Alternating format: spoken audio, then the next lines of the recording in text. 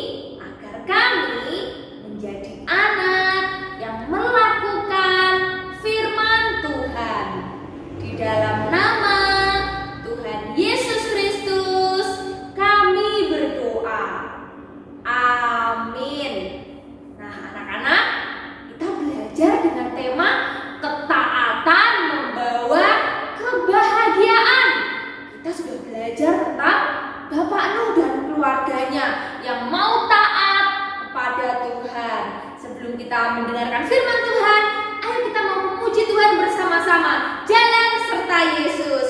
Semuanya berdiri, kita mau memuji Tuhan dengan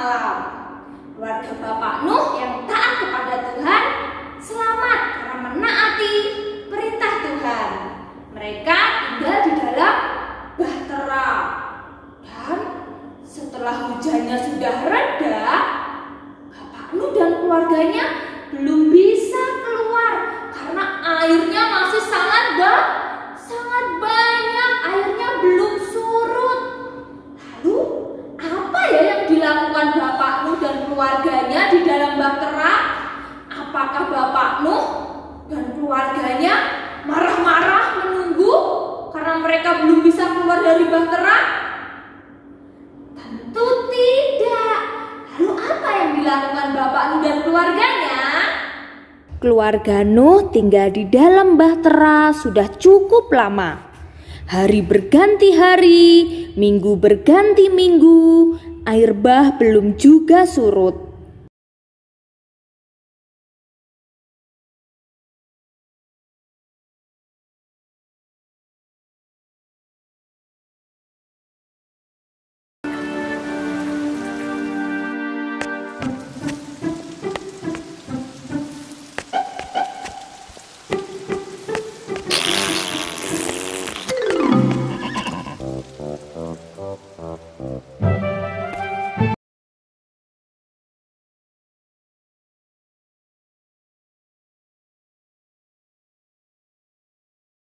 I've called you all here because I have a surprise for you. The rain has stopped. What? That's wonderful!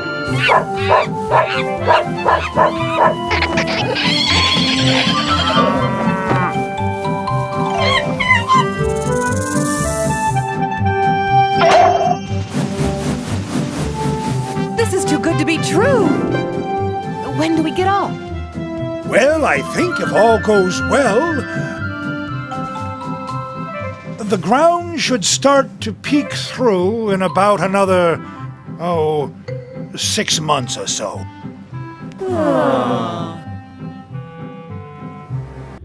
Pada suatu hari, Allah membuat angin berhembus melalui bumi, sehingga air itu pelan-pelan surut. Tetapi masih belum juga terlihat daratan atau pepohonan.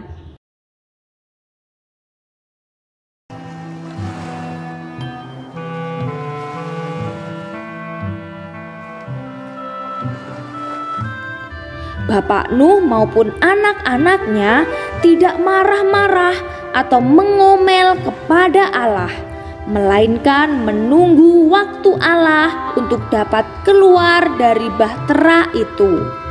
Sebab Bapak Nuh tahu pasti nanti Allah akan menurunkan air yang banyak itu. Tiba-tiba, apa yang terjadi dengan kapal bahtera Nuh? Akhirnya bahtera itu kandas dan berhenti tidak jalan lagi karena menabrak pegunungan Ararat. Setelah berhenti, mereka tidak bisa keluar karena airnya masih banyak. Dan Bapak Nuh belum melihat ada daratan. Lalu Bapak Nuh melepaskan seekor burung gagak untuk pergi terbang keluar supaya burung itu dapat melihat di tempat lain apakah sudah ada daratan atau belum. Ternyata burung gagak itu kembali ke Bahtera Nuh karena tidak ditemukan tempat untuk bertengger bagi burung gagak. Bapak Nuh tetap sabar menantikan untuk tidak keluar dari Bahtera. Lalu Bapak Nuh menunggu satu minggu untuk mengetahui apakah jauh di sana sudah ada daratan. Maka ia melepaskan burung dara terbang jauh. Tetapi burung tersebut kembali ke Bahtera Nuh. Tetapi Bapak Nuh tidak putus asa. Minggu depannya ia coba lagi untuk melepaskan burung dara itu.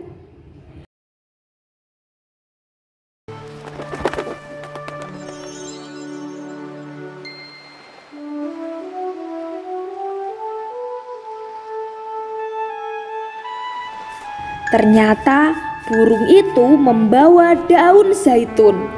Senang dan gembira Bapak Nuh dan keluarganya karena ternyata jauh di sana sudah ada pohon yang tumbuh dan pasti sudah ada daratannya. Setelah sekian lama Bapak Nuh menunggu, Seminggu kemudian, yes, ia melepaskan seekor burung dara lagi. And you Saat burung dara itu dilepaskan, ternyata burung itu tidak kembali. Berarti burung itu sudah mendapat tempat tinggal di sana.